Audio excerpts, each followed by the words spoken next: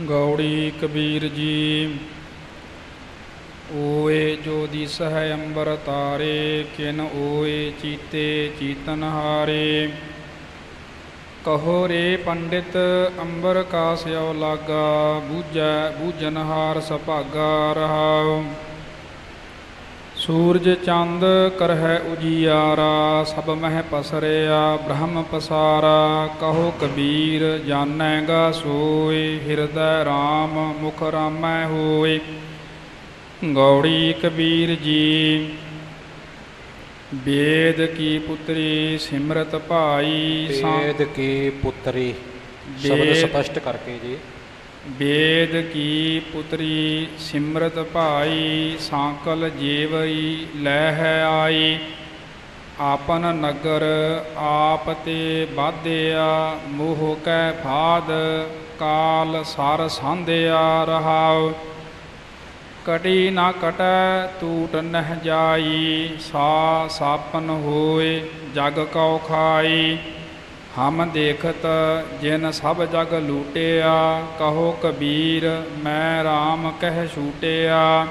ਗੌੜੀ ਕਬੀਰ ਜੀ, ਦੇ ਮੁਹਾਰ ਲਗਾਮ ਪਹਿਰਾਵੋ ਸਗਲ ਤਜੀਨ ਗਗਨ ਦੌਰਾਵੋ।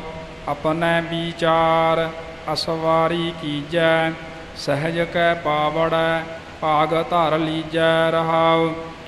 ਚਲ ਰੇ ਬੈਕੁੰਠ ਤੁਝ ਹੈ ਲੇ ਤਾਰੋ ਹਿਚ ਹੈ ਤਾ ਪ੍ਰੇਮ ਕੇ ਚਾਬਕ ਮਾਰੋ ਹਿਚ ਹੈ ਤਾ ਪ੍ਰੇਮ ਕੈ ਚਾਬਕ ਮਾਰੋ ਕਹਿਤ ਕਬੀਰ ਭਲੇ ਅਸਵਾਰਾ। ਵੇਦ ਕਤੇਬ ਤੇ ਰਹਿ ਨਿਰਾਰਾ, ਗੌੜੀ ਕਬੀਰ ਜੀ। ਜਿਹੇ ਮੁਖ ਪਾਂਚੋ ਅੰਮ੍ਰਿਤ ਖਾਏ, ਤਿਹ ਮੁਖ ਦੇਖਤ ਲੂਕਟ ਲਾਏ। ਇਕ ਦੁਖ RAM ਰਾਏ ਕਾਟਹੁ ਮੀਰਾ ਅਗਨ ਦਹੈ ਅਰ ਗਰਭ ਬਸੇਰਾ ਰਹਾਉ। ਕਾਇਆ ਬੇਗੂਤੀ ਬਹੁ ਬਿਦ ਭਾਤੀ ਕੋ ਜਾਰੇ ਕੋ ਗੜਲੇ ਮਾਟੀ। ਕਹੋ ਕਬੀਰ ਹਰ ਚਰਨ ਦਿਖਾਵਹੁ ਪਾਛੇ ਤੇ ਜਮ ਕਿਉ ਨਾ ਪਠਾਵਹੁ। ਅੱਛਾ।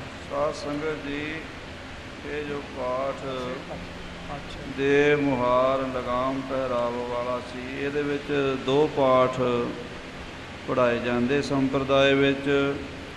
ਪਹਿਲਾ ਪਾਠ ਪੜਾਇਆ ਜਾਂਦਾ ਸਗਲ ਤਜੀਨ ਗਗਨ ਦੌਰਾਵ ਸਾਰਾ ਕੁਝ ਤਿਆਗ ਕੇ ਸੰਸਾਰ ਦੇ ਪਦਾਰਥਾਂ ਦਾ ਮੋਹ ਦਾ ਤਿਆਗ ਕਰਕੇ ਸਗਲ ਤਜੀਨ ਗਗਨ ਦੌਰਾਵ ਦੂਸਰਾ ਪਾਠ ਹੈ ਸਗਲਤ ਜੀਨ ਤਤਾ ਲੱਲੇ ਨਾਲ ਜੋੜ ਕੇ ਸਗਲਤ ਜੀਨ ਗਗਨ ਦੌਰਾਵ ਇਸ ਤਰ੍ਹਾਂ ਇਹ ਦੋ ਤਰ੍ਹਾਂ ਦਾ ਪਾਠ ਸੰਪਰਦਾਇ ਵਿੱਚ ਕਰਾਇਆ ਜਾਂਦਾ ਹੈ।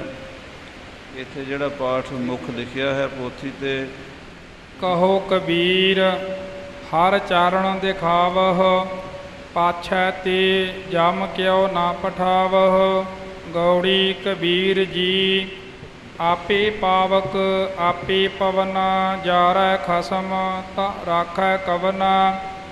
RAM ਜਪਤ, ਤਨ ਜਰ ਕੀ ਨਾ ਜਾਏ। RAM ਨਾਮ ਚਿਤ ਰਹਿਆ ਸਮਾਏ ਰਹਾਉ।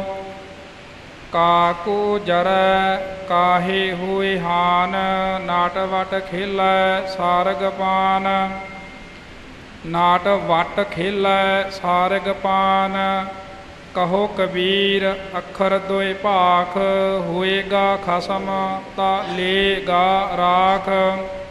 ਕਬੀਰ ਸਾਹਿਬ ਜੀ ਦੇ ਘਰ ਨੂੰ ਕਿਸੇ ਵੇਸ਼ਵਾ ਨੇ ਅੱਗ ਲਵਾ ਦਿੱਤੀ ਸੀ ਤੇ ਕਬੀਰ ਸਾਹਿਬ ਜੀ ਆਪਣੇ ਆਨੰਦ 'ਚ ਬੈਠੇ ਹੋਏ ਸਨ। ਸੇਵਕਾਂ ਨੇ ਆਖਿਆ, ਮਹਾਰਾਜ, ਘਰ ਨੂੰ ਅੱਗ ਲੱਗ ਗਈ ਹੈ, ਕੋਈ ਹੀਲਾ ਕਰੀਏ। ਕਹਿੰਦੇ, ਪਰਮੇਸ਼ਰ ਆਪ ਹੀ ਅੱਗ ਹੈ ਤੇ ਆਪ ਹੀ ਹਵਾ ਹੈ ਤੇ ਆਪ ਹੀ ਸਾੜਨ ਵਾਲਾ ਹੈ ਤੇ ਰੱਖੇਗਾ ਕੌਣ?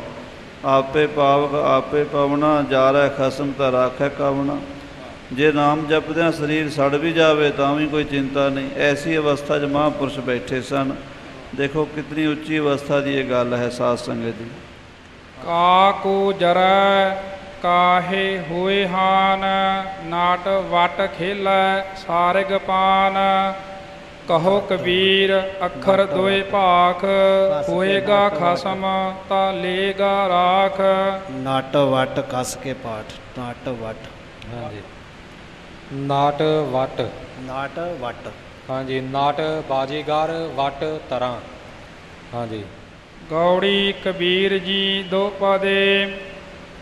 ਨਾ ਮੈਂ ਜੋਗ ਧਿਆਨ ਚਿਤ ਲਾਇਆ ਬਿਨ ਬੈਰਾਗ ਨਾ ਛੂਟ ਸਮਾਇਆ। ਕੈਸੇ ਜੀਵਨ ਹੋਏ ਹਮਾਰਾ, ਜ- ਜਬ ਨਾ ਹੋਏ RAM ਨਾਮ ਆਧਾਰਾ ਰਹਾਉ।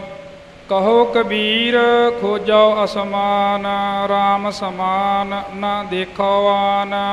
ਗੌੜੀ ਕਬੀਰ ਜੀ, ਜਿਹ ਸਿਰ ਰਾਚ ਰਾਚ ਬਾਦਤ ਪਾਗ, ਸੋ ਸਿਰ ਚੁੰਚ ਸਵਾਰ ਹੈ ਕਾਗ। ਇਸ ਤਨ ਧਨ ਕੋ ਕਿਆ ਗਰਬਈਆ RAM ਨਾਮ ਕਾਹੇ ਨਾ ਦ੍ਰਿੜੀਆ ਰਹਾਉ। ਕਹਿਤ ਕਬੀਰ, ਸੁਨਹੁ ਮਨ ਮੇਰੇ, ਇਹੀ ਹਵਾਲ ਹੋਹੇਗੇ ਤੇਰੇ। ਇਸ ਤਨ ਧਨ ਕੋ ਕਿਆ ਗਰਬਈਆ RAM ਨਾਮ ਕਾਹੇ ਨਾ ਦ੍ਰਿੜੀਆ। ਗੁਰਮੁਖਾ ਪਿਆਰਿਆਂ, ਸ਼ੁੱਧ ਪਾਠ ਕੀਤਾ ਹੈ। ਇੱਥੇ ਵੀ ਸਾਡੇ ਪਾਠੀ ਸਿੰਘ ਦਰੜਈਆ ਬੋਲ ਜਾਂਦੇ ਨੇ। ਇਸ ਤਨ ਧਨ ਕੋ ਕਿਆ ਗਰਬਈਆ। ਇਹਦੇ ਨਾਲ ਮਿਲ ਕੇ ਦ੍ਰਿੜੀਆ ਨੂੰ ਦਰੜਈਆ ਬੋਲ ਜਾਂਦੇ ਨੇ। ਦਰੜਈਆ ਪਾਠ ਕਿਸੇ ਤਰ੍ਹਾਂ ਨਹੀਂ ਬਣਦਾ, ਕਿਉਂਕਿ ਅੜਾੜੇ ਨੂੰ ਬਿਹਾਰੀ ਹੈ ਪੈਰ ਚਹਾਹਾ ਹੈ, ਐੜੇ ਕੰਨਾ ਹੈ। ਸੋ ਇਉਂ ਦਰੜਈਆ ਨਹੀਂ ਬਣਨਾ, ਦਰੜਈਆ ਤਾਂ ਬਣੇਗਾ, ਜੇ ਈੜੀ ਲੱਗੀ ਹੋਈ ਹੋਵੇ ਤਾਂ। ਇਹ ਖਿਆਲ ਰੱਖਣਾ ਪਾਠ ਕਰਦਿਆਂ ਹੋਇਆਂ। ਇਸ ਤਨ ਧਨ ਕੋ ਕਿਆ ਗਰਬਈਆ। RAM ਨਾਮ ਕਾਹੇ ਨਾ ਦ੍ਰਿੜੀਆ। ਰਹਾਉ ਕਹਿਤ ਕਬੀਰ ਸੁਨਹੁ ਮਨ ਮੇਰੇ ਇਹੀ ਹਵਾਲ ਹੋਹੇਗੇ ਤੇਰੇ। ਗੌੜੀ ਗੁਆਰੇਰੀ ਕੇ ਪਦੇ ਪੈਤੀਸ। ਇਹ ਸੂਚਨਾ ਦਿੱਤੀ ਹੈ ਕਿ ਗੌੜੀ ਗੁਆਰੇਰੀ ਵਿੱਚ 35 ਪਦੇ ਕੁੱਲ ਭਗਤ ਜੀ ਦੇ ਆਏ ਨੇ। ਇਹਨਾਂ ਵਿੱਚ ਚੌਪਦੇ ਸ਼ਬਦ ਵੀ ਆਏ ਨੇ ਤੇਪਦੇ ਵੀ ਨੇ ਦੁਪਦੇ ਵੀ ਨੇ ਔਰ ਪੰਜ ਪਦੇ ਵੀ ਆਏ ਨੇ। ਸੋ ਇਹ ਕੁੱਲ 35 ਪਦੇ ਆਏ ਹਨ। ਇਸ ਤੋਂ ਅੱਗੇ ਭਗਤ ਜੀ ਦੀ ਅਸ਼ਟਪਦੀ ਦੀ ਆਰੰਭਤਾ ਹੋ ਰਹੀ ਹੈ।